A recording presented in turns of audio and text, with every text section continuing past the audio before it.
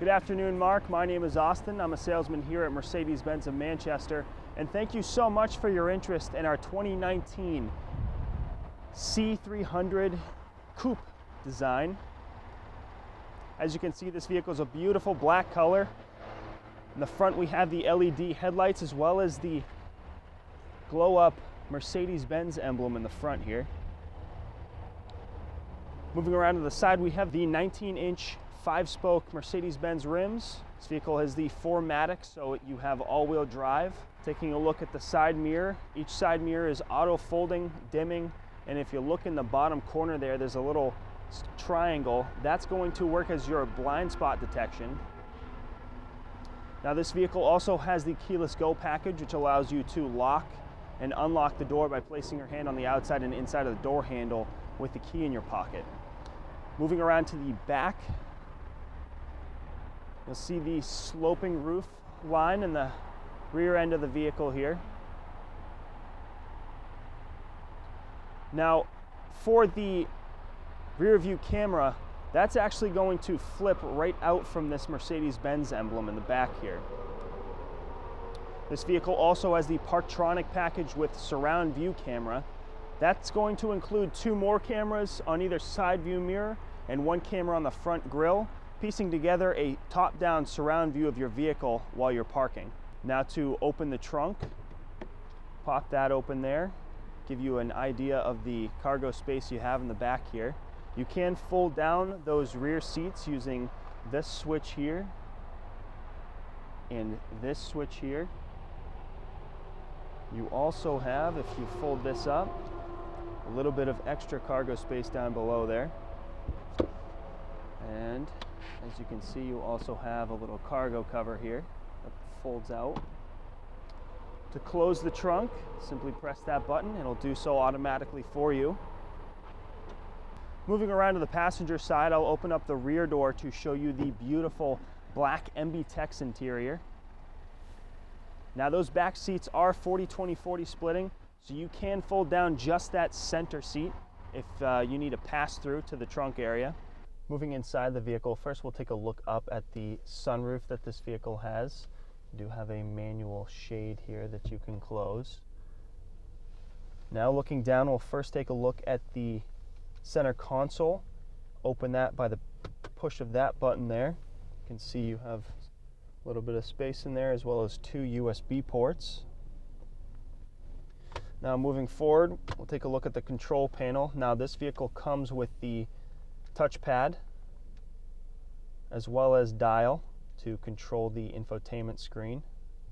This vehicle has the multimedia package which comes with navigation and map updates for three years. You also get six months free of Sirius XM radio. Back to the control panel here, we have the dynamic select switch that's going to allow you to change from any of the five drive modes in this vehicle. As you can see, you have individual, Sport Plus, Sport mode, Comfort mode, and Eco mode. Now looking in front of that, we have this little compartment here. Open that up and you have two cup holders inside. You can also lift out the cup holder insert here if you just want a little storage space. Above that compartment we have our quick menu buttons as well as CD player. Simply press any of these buttons to go to those following menus. Above that we have our controls for the climate control. There are two zones in this vehicle, one for the front passenger and one for the driver. Now this vehicle does have push to start. Right now the button is not inserted so we have just the key inserted in there to turn the vehicle on. Moving to the steering wheel, behind the steering wheel we have two paddle shifters. You're going to pull either of those if you want to manually change gear, which you can do at any time. Looking here at the steering wheel on the right side, you have a couple buttons here. One to raise and lower the volume, as well as mute the volume. Couple buttons to answer and hang up phone calls, and one to activate your voice control. On the left hand side of the steering wheel, you have a couple of buttons that are going to allow you to change the settings screen on the center of the gauge cluster directly in front of the steering wheel here. As you can see, you can toggle through a couple different menus to be displayed on that screen. Now, on the left side of the steering wheel here, we have a few buttons. One to turn on the 360 degree camera, which is shown on the screen now. You have a few different views that you can toggle through.